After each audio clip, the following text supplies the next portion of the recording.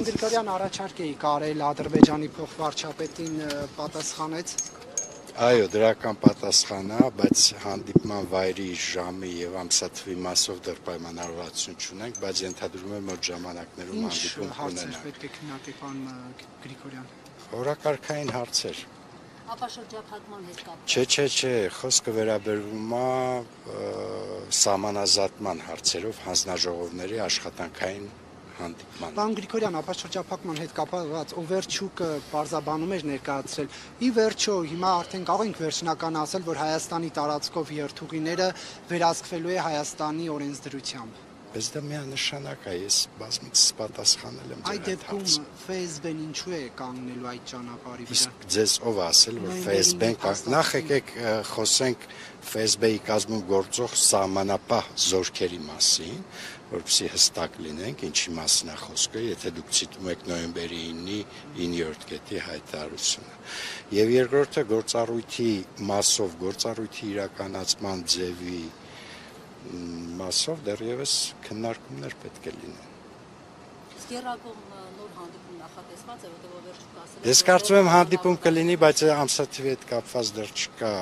պայմանավորվածություն։ Երեք Ադրբեջանի արտգործնախարարը ասել էր, որ այսպես հասել ենք լուրջ համաձայնության նաև ապաշրջափակման մասով։ Որքանով է այսպես։ Դե տեսեք, մի շատ կարևոր մի կոնսենսուս կա այն, որ ապաշրջափակման գործընթացը սկսվում է երաս խորադիս երկաթգծի վերաշահագործումից, ինչ որ կարծում եմ կարևոր է, որովհետև կոնկրետ է եւ շատ հասկանալի թե ինչի շուրջ է խոսակցությունը, խոսակցությունը երկաթգծի մասին է։ Ես կարծում եմ կա վերջնական ընկալում, որ կարգավորումները պետք է լինեն իրավազորության եւ ինքնիշխանության ներքո այն երկրների, որոնց տարածքով երկաթգիծը անցնել է։ Դա էլ է շատ կարևոր եւ շատ ֆունդամենտալ համաձայնություն։ Մնացած հարցերի շուրջ դետալներ չեմ բացի, որովհետեւ դեռևս վերջնական կոնսենսուս չկա։ Բաքուն ունի, հա, համաձայնություն այս ձեր նշած տարբերակետ պարոն Գրիգորյան։ Ես կարծում եմ, որ ես կարծում եմ, որ այո, որովհետեւ մենք բազմից հայտարարել ենք, որ ուղղակի այլ ձևաչափով այդ հարցը չեն քննարկելու եւ եթե այնուամենայնիվ կան քննարկումներ եւ կան հանդիպումներ նշանակում է որ այդ ընկալումը կիսում են բոլոր մասնակիցները առնվազն մեր հարթակի երակողմ աշխատանքային խմբի։ Պարոն Գրիգորյան, կներեք եւ Ռուսաստանի արտգործնախարարը նշում է, որ արևմուտքը պարակտում է ՀԱՊԿ եւ նկատի ունի նաև ըստ փորձագետների, որ Հայաստանն էլ մասնակցություն ունի այս գործընթացում։ Դուք Լավրովի հայտարարությունները ինչպես եք